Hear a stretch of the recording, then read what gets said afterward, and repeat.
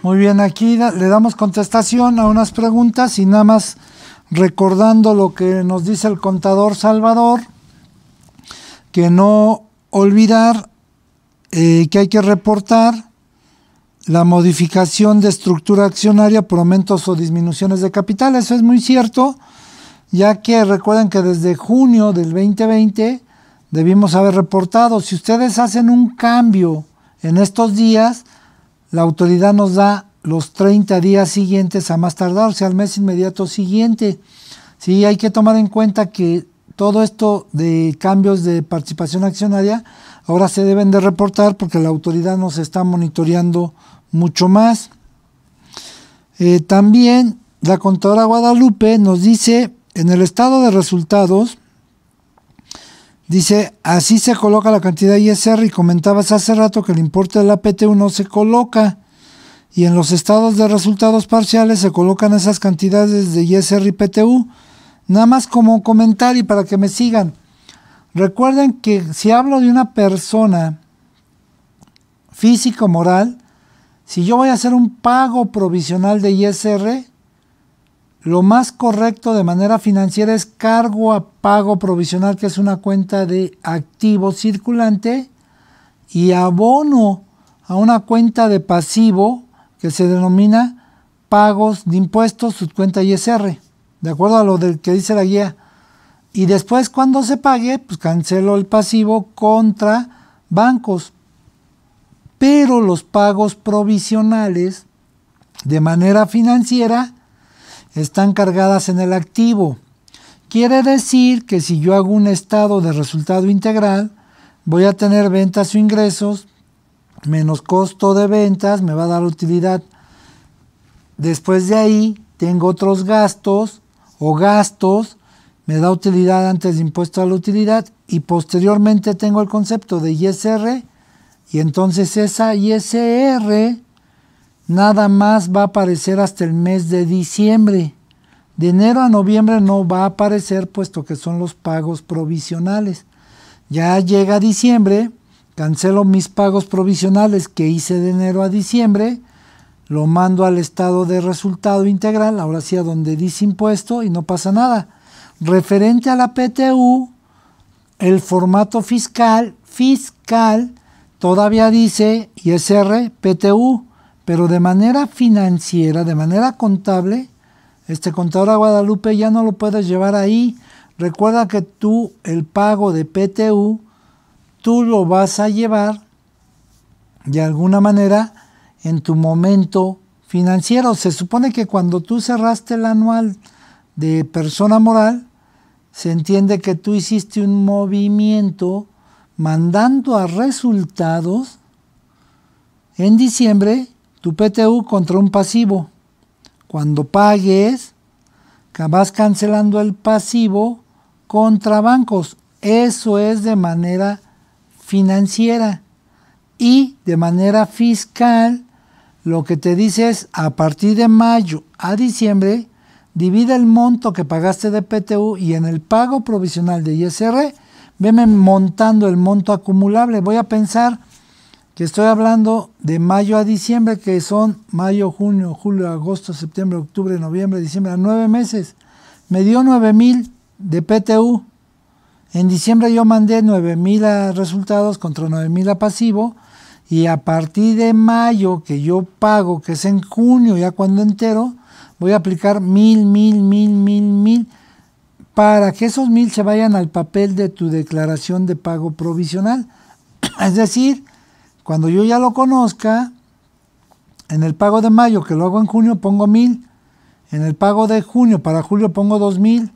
En el de julio para agosto pongo tres mil y así se me lo voy llevando. Pero es nada más registro fiscal.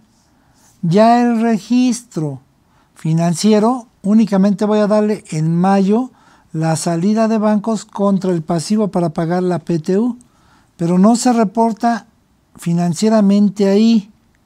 ¿Sale? Esas son las únicas preguntas que tengo.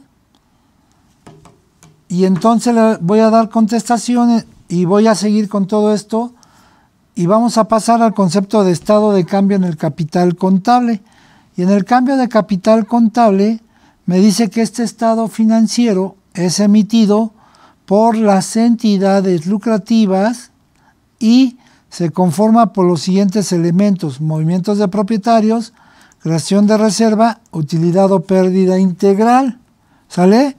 Y los movimientos de propietarios, que es complemento a lo que dice el contador Salvador, que hay que informar esto, son los cambios al capital contribuido o en su caso al capital ganado de una entidad durante un periodo contable derivados de las decisiones de los propietarios en relación con su inversión. Entonces todo el movimiento que tengan las personas siempre hay que moverlo con capital, ya sea fijo o variable. También menciona acerca de los cambios en el capital contribuido o ganado y dice que son los movimientos de, de propietarios que en su mayoría representan incrementos o disminuciones de capital y consecuentemente de los activos netos de la entidad. Sin embargo, se puede dar una operación inversa. Todo esto durante el periodo que aquí en México hablamos de periodo enero-diciembre. ¿Sale? Los tipos de movimiento que hay, pues se denomina aportaciones de capital, que es algo que están aportando en especie o en efectivo y siempre hay que estar informando a la autoridad de ese aumento. Por eso es importante, lo que decía el contador Salvador, hay que estar informando todo aumento de participación accionaria para que no caigan en errores y mañana la autoridad lo revise. Y esas aportaciones de capital son lo que aporta cada socio.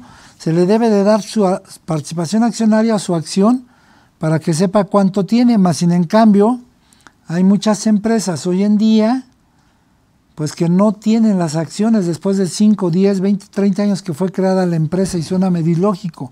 Ahorita con las nuevas auditorías se los van a, a pedir. También en el capital variable más común hay reembolsos de capital que la empresa decide retornarle a los socios por decisión propia para que no caigan en algún error financiero, sino que dicen, ¿sabes qué? Del capital variable que metiste, te lo regreso para que lo vuelvas a invertir en otra empresa o en lo que tú consideres más apropiado. Trae capitalizaciones de, de partidas del capital contribuido, que estas pueden ser las que le llamamos como aumentos futuros de capital. Y entonces, si ustedes mueven un aumento futuro de capital, y nada más está protocolizado y dice suscrito pero no exhibido, su momento contable debe de ser cargan al activo su cuenta deudores, abonan al pasivo su cuenta acreedores y nunca pasa por capital. El contador que no sabe aplicar esto lo manda contra capital de manera indebida. Con las nuevas revisiones les van a pedir el acta protocolizada. Sobre todo que en esa acta protocolizada diga cuánto tiempo se van a tardar ustedes en exhibir ese dinero, en exhibir eso en especie. Y entonces si estuviese aportado en especie, que, o que sea en efectivo, pero que sea suscrito y exhibido, sí el movimiento contable cambia muy drástico. Imagínense el movimiento de, de capital cuando nada más dice el acta suscrito. Cargan a deudores, abonan a acreedores, ya, ahí se queda.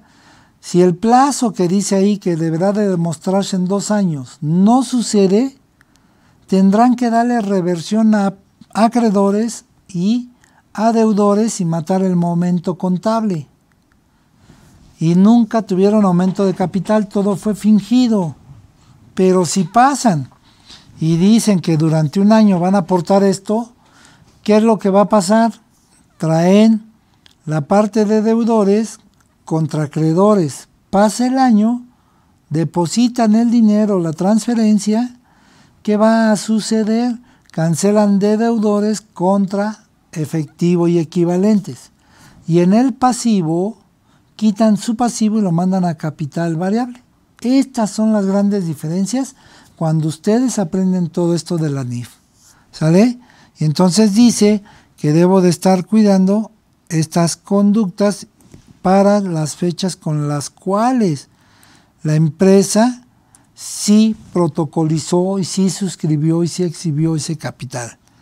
¿sí? Hay también capitalizaciones de reservas, que son las que las empresas llegan a ver, que son aquellas que protocolizan, capitalizan todo este ciclo financiero. Y esa creación de reservas, recuerden que hay una ley, los que son lucrativos, que es la Ley General de Sociedades Mercantiles, donde menciona que se debe de hacer la creación de reserva cuando haya utilidades de hasta un 20%. Y entonces, si usted maneja un capital de 100 mil, nada más se le permite crear la reserva de 20 mil. Hacen su movimiento contable, pero en base a su guía contabilizadora, en base a sus políticas contables. ¿Sale? Y entonces esta creación de reserva eh, representa una segregación de las utilidades netas acumuladas con fines específicos creado con la decisión del propietario, lo que ha definido. ¿sí? Puede tener una segregación de utilidades donde van a ir marcando sus conceptos de, de alguna manera, de reserva a cada renglón.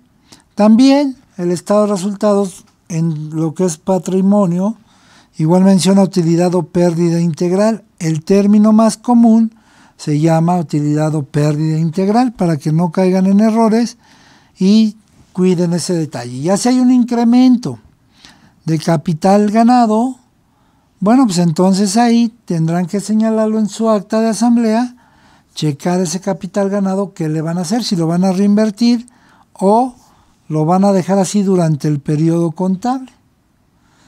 Otra de las condiciones que hay es otras partidas integrales, que este de otras partidas integrales se derivan de procesos, se derivan de todo lo que deciden los socios y que no haya problema al momento en que se realice el ciclo financiero. ¿sí? Ese fue otro estado financiero. Y otra vez les doy otros dos minutitos, tres minutitos para que yo regrese a explicar el flujo de efectivo, para que vean todo esto cómo se va compilando en la guía contabilizadora. Entonces regreso ahorita en unos dos, tres minutos.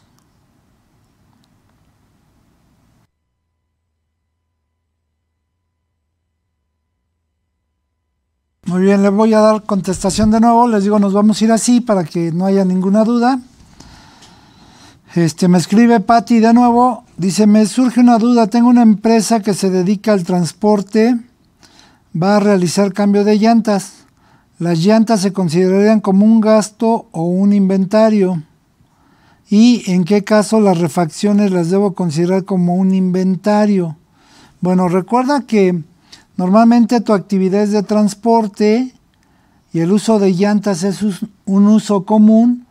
Por lo tanto, si tú compras, se me ocurre, ocho llantas y las ocho llantas son montadas a la unidad vehicular, se considera eso no como gasto, se considera como costo porque es tu actividad preponderante el transporte. ¿Sale?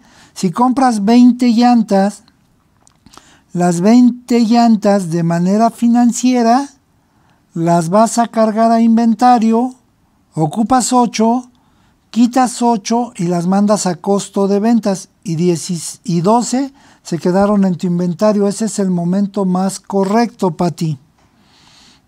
Aquí también Carmen Macedo me dice, en el caso de avisos de tenencia de socios por sociedades civiles, cuando se les da participación de utilidades a los asociados industriales. A estos asociados se les debe de dar de alta con cero acciones, puesto que son socios industriales. No, no, Carmen, como son socio industrial, el socio industrial aporta nada más intelecto. Entonces no necesitas hacer o darlos de alta con participación cero. Lo único que sí es correcto es que tu acta constitutiva mencione que hay socios industriales de nombre de que aportan tal y tú lo vas a poner. Con eso es más que justificado. ¿Sale? No existe una acción con valor cero. Eso no existe.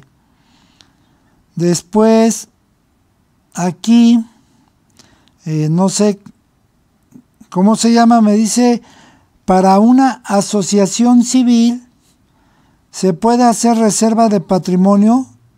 ¿Y cuál sería el porcentaje? De acuerdo a la asociación civil, a la ley, no está obligado a crear una reserva. Ellos no crean reservas. Entonces, legalmente no existe eso. Y gracias, porque dice que le gustan mucho los cursos, que es muy enriquecedor toda esta plática. Gracias. Y entonces, son de las cosas que tengo. Aquí hay otra. En las empresas morales con régimen de acumulación de ingresos es igual al flujo de efectivo. Claro, porque tú estás en el régimen de acumulación, que es el tope 5 millones, es una SAS.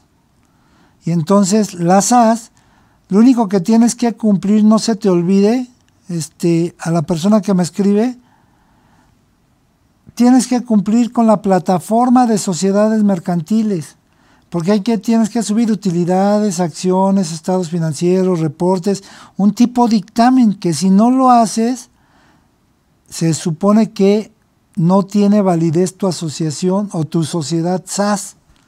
Entonces, es muy similar la acumulación de ingresos para declarar fiscalmente. No lo confundan con lo financiero. Imagínate, haces una factura de 500 mil, pero nada más te pagan mil pesos. Tú vas a declarar mil fiscalmente, financieramente tienes 500 mil y te lo vas a llevar contra el cliente los 4.99.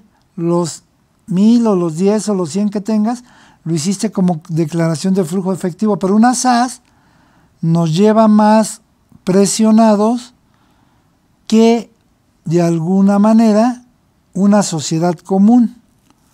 ¿Sale? Karina Vargas dice, tengo una duda, una empresa que es una sociedad bursátil suscribe acciones y por ese tema incurre en gastos. ¿En qué NIF me puedo basar para registrar esos gastos? Bueno, acuérdate que hay la SAP fiscalmente, financieramente. Karina, tú tienes tu norma A3, que esa norma A3 te obliga a que son necesidades de los usuarios. De la A3 te desprendes a la norma A8, que es el concepto de norma internacional y de tu norma 8 ya te brincas a una NIF donde hable de lo que es bursatilización. En México como tal, una norma exclusiva de bursatilización no ha salido, ¿sale? Pero te vas en, base a la conducta internacional y con eso está igual 100% aplicable en México, ¿sí? Y otra vez, aquí nos recuerda Salvador todos los movimientos de la SAS los debemos de hacer en el portal de economía, que es lo que les estoy diciendo. Tienen que tener mucho cuidado con ese indicativo. ¿Sale? Ah, José Moctezuma ya nos puso su nombre. Gracias, José. Siempre pónganme el nombre porque de momento no, no me acuerdo. Carlos Oronzor, un socio, se agregó a la empresa y, y aparte aportó con una transferencia y otra con maquinaria. Yo la registré en bancos activos no circulante y abono a capital variable. ¿Es correcto? Si es correcto, lógico, tú vas a cargar con tu transferencia a, bancos. Lo que aportó en maquinaria tienes que tener un valor de avalúo, porque no vayas a poner el valor factura. A lo mejor esa factura la compró hace cinco años y hoy en día ese valor de esa maquinaria que hace cinco años le costó un millón, hoy vale 400 mil. Entonces no le vayas a poner un millón de activo porque no lo tiene. Le tienes que usar la norma B17, valor de mercado, le tienes que usar la norma C6 y le tienes que usar también la parte de capital. Entonces, ya nada más aquí, este, Carlos, chútate esas normas para que le des el valor porque se supone que tienes un avalúo donde consta que vale 400 y él aportó, se me ocurre 100 en transferencia, entonces él entra como incremento de capital con 500, 100 en efectivo y equivalente, 400 en activo contra 500 de capital y por lógica, tú ya sabes si lo clasificas en variable o en fijo, le tienes que hacer una acción para tener todo bien soportado. Y ya después te metes a la plataforma de Sociedad de Economía y mandas tu informe donde hay el incremento de capital. Eso no se les debe de olvidar a todos los que ya vieron toda la parte de las NIF. ¿Sale? Me dice aquí Salvador para darle contestación. Fiscalmente tiene que realizar un avalúo para determinar el valor y como dicen las normas, valor razonable. Así es, Salvador. Ya teniendo su avalúo, les va a dar de alguna manera un dato más certero. ¿Sale? Dice aquí este José, no es una SAS, es persona moral notarial, solo que es una opción fiscal. Sí, bueno, normalmente la acumulación de ingresos igual las clasifican como SAS porque acuérdense que la hace una persona física y son el régimen de persona moral con el flujo de efectivo. Es la que nos estás mencionando, yo creo, José. No hay ningún problema así. ¿sí? Y pues esta, esta situación es de que ustedes vayan viendo todo lo que ha ido cambiando y lo nuevo que viene. Y yo lo he dicho, hay gente como Salvador, lo menciono mucho porque él lo conocí en el curso, me invitó a ser su amigo y acepté. Y yo busco primero la amistad, la sencillez, que otra cosa. Salvador tomó curso conmigo de NIF 2017, empezó a cambiar su mundo de él. Después ahorita 2019 cambió su mundo y 2021 va a cambiar todavía mucho más. Pero ya llevan un camino recorrido donde ya el lenguaje que yo les hablo ya lo entienden. Hay mucha gente que no ha entendido cómo se hace un procedimiento. Y entonces la idea de esta guía contabilizadora que estamos viendo, pues tiene que ser de alguna manera algo que ustedes aprendan a mover en su proceso contable y no hundir a un contribuyente, al contrario, salvarlo ahorita porque la situación de las auditorías viene muy desgastante. Yo les mencionaba, tengo a mañana para enviar todo al, digamos, a la Cámara de Diputados y Cámara de Senadores un procedimiento de la Unidad de Inteligencia Financiera. Me invitaron a participar de nuevo ahí. Yo creo que vieron que yo no tenía nada que hacer. Me mandaron un documento muy importante y viene la nueva forma de fiscalización de la Unidad de Inteligencia. ¿Sale? Nada más que no se los puedo compartir porque apenas está en proyecto. Decíamos ya para terminar esa parte y, y irnos al break, ver un estado de flujo de efectivo o estado de cambios en la situación financiera, así es como se le conoce. Todo esto dice que yo debo de hacer un estado financiero en donde demuestre mi origen y recursos de dónde provienen, en donde demuestre qué es un aumento de efectivo, qué es una disminución de efectivo, qué son operaciones, qué son inversiones, qué es financiamiento, qué es el lenguaje que está mencionando. Entonces, mi guía contabilizadora debo de tener estos tipos de origen. Y el tipo de origen va de operación, de inversión y de financiamiento. Cuando ustedes hagan un estado de flujo de efectivo deberán de hacerlo. Ya por ende se clasifica en flujo directo y flujo indirecto. ¿Sale? Y entonces estos recursos de operación se definen como aquellos que se obtienen como consecuencia de llevar a cabo las actividades que representan la, la principal fuente de ingresos para la entidad. Todo esto igual, en ese libro que yo les di, viene todo este renglón. Se los voy a, a indicar. Digo, aquí viene por si ustedes quieren meterle más cosas a su guía contabilizadora, pues lo pueden hacer con todo gusto, todos los momentos. Aquí está en el párrafo 85 de lo que yo estoy hablando. El estado de flujo de efectivo, del origen de flujo, y aquí está el párrafo 89, que es lo que yo estoy viendo de la norma A5, porque es donde vienen los o las definiciones. Y entonces les decía, los recursos de operación son los que se obtienen como consecuencia de llevar a cabo actividades que representan la principal fuente de ingresos de la entidad. Los de inversión son los que se obtienen por la disposición de activos de larga duración y representan la recuperación económica, o sea, todo el dinero que invierten comprando bienes, comprando activos, para que me entiendan. Y los de financiamiento son los recursos obtenidos de los acreedores financieros o en su caso de los propietarios de la entidad para sufragar las actividades de operación. ¿Sí? Ya que tengan este tipo de recursos que identificaron ustedes de operación, de inversión, financiamiento, viene la aplicación de esos recursos. Y la aplicación de esos recursos son disminuciones de activo durante un periodo contable provocadas por el incremento de cualquier otro activo distinto al efectivo. ¿Sale? La disminución de pasivos o disposición de capital contable. Ya posteriormente vienen las definiciones de cada, de cada concepto. Dentro de ellas dice, ¿qué pasa si yo traigo definición de efectivo? Se debe de considerar como todos los conceptos que de manera directa o indirecta disminuyan el efectivo. ¿sí? Entradas y salidas para que me entiendan los que no son contadores. Durante el periodo contable del periodo del, yo les decía, del 1 de enero al 31 de diciembre.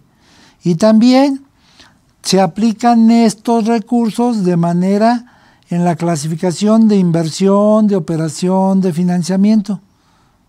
Siempre vamos a estar hablando de ese lenguaje porque es la clasificación en la cual nos va a arrojar, nos va a arrojar el momento y entonces cuando ustedes le digan al contador, oye, quiero un estado de flujo de efectivo, les va a decir con qué saldo iniciaron, cuánto tienen de inversión, cuánto tienen de financiamiento, cuánto tienen de operación y el saldo que tienen ustedes en caja o en bancos, para que me entiendan. ¿Sí? Le voy a dar contestación a algunas preguntas que me hicieron llegar ahorita en el espacio. Y de alguna manera, ahorita igual vamos a iniciar otra parte con la norma B6. Dicen Almadelia Delgado es una sociedad civil que recibe apoyo del gobierno y de otras personas.